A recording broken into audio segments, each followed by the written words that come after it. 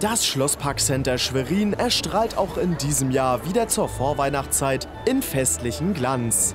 Im Außen- und Innenbereich funkeln Lichterketten und reich geschmückte Weihnachtsbäume sorgen für stimmungsvolles Ambiente beim Einkaufen. Ja, da legen wir besonders viel Wert drauf.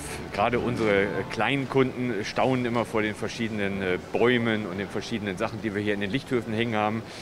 Und dieses Strahlen der äh, Kinderaugen, das macht besonders Spaß und das werden wir auf keinen Fall weglassen. Weihnachtszeit ist die Zeit der Geschenke. Im Schlossparkcenter Schwerin unterstützen fleißige Weihnachtsengel Kunden beim Verpacken ihrer Präsente.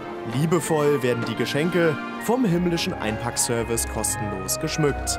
Die Weihnachtshelfer stehen täglich von 10 bis 19 Uhr im Erdgeschoss zur Verfügung.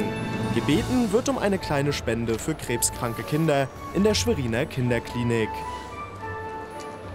Naja, es ist wichtig, dass wir gerade jetzt in der Zeit so ein bisschen Stimmung schaffen, ein bisschen Atmosphäre machen.